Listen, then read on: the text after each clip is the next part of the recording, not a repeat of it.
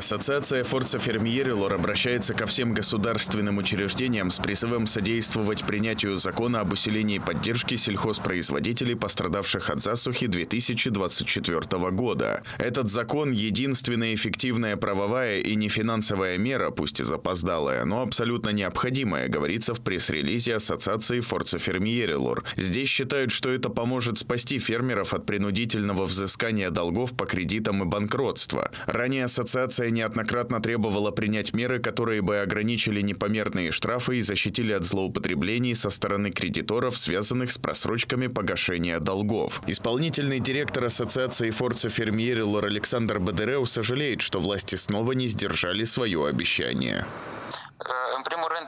В первую очередь, затягивание связано с тем, что некоторые государственные учреждения не дали в сжатые сроки необходимого заключения по этому законопроекту, и парламент не смог сегодня вынести его на голосование, как обещал господин Игорь Гросу. Именно это основная причина. Но мы думаем, что это, скорее всего, делается намеренно. Впрочем, какова реальная ситуация, мы уже знаем. Dar nu cunoaștem în realitate situația. Некоторые активисты фермерского движения более категоричны в своих утверждениях. Кто-то считает, что законопроект саботирует и в этой связи называется имя бывшего министра сельского хозяйства Владимира Боли, который после отставки занял должность министра инфраструктуры и регионального развития. Это не что иное, как прямое вмешательство Владимира Боли через блокирование заключений. Каким образом тогда Боли удалось менее чем за неделю добиться того, чтобы закон был принят в двух чтениях и промульгирован менее чем за неделю? А у нас больше месяца этот закон ходил из кабинета в кабинет. Очевидно, что принятие этого закона не хотят. Кроме того, в нем много изъянов, и он, скажем так, не оказывает большого влияния на сельхозпроизводителей. Другие фермеры считают, что власти пошли на определенные уступки только в преддверии выборов, чтобы не осложнять и без того очень трудную социально-экономическую ситуацию в стране, а на мелких и средних фермеров им наплевать.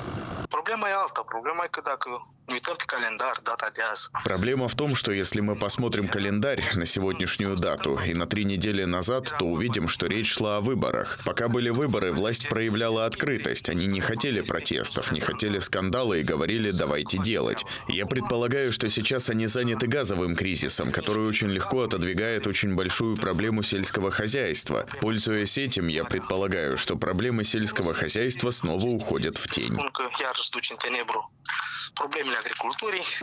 Пятый канал обратился за комментарием государственному секретарю Министерства сельского хозяйства и пищевой промышленности Василию Шарбану. Однако тот попросил перезвонить ему позже, сославшись на занятость. Добавим, одно из ключевых положений нового закона в поддержку сельхозпроизводителей – введение моратория на выплату долгов для фермеров, что поможет им избежать банкротства до 31 октября 2025 года, а не на 6 месяцев, как было раньше. Еще одно важное новшество – применение закона ко всем текущим долгам фермеров, независимо от даты их возникновения, не только на те, которые образовались в период с 1 сентября 2023 года по 1 сентября 2024. Следует отметить, что аналогичный закон был принят три месяца назад в спешке и подвергся резкой критике со стороны фермеров, которые в середине сентября провели масштабные протесты по всей стране.